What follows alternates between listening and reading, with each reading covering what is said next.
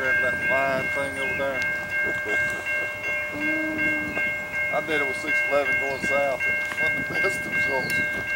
Prefer the, the curve shot or the chair shot.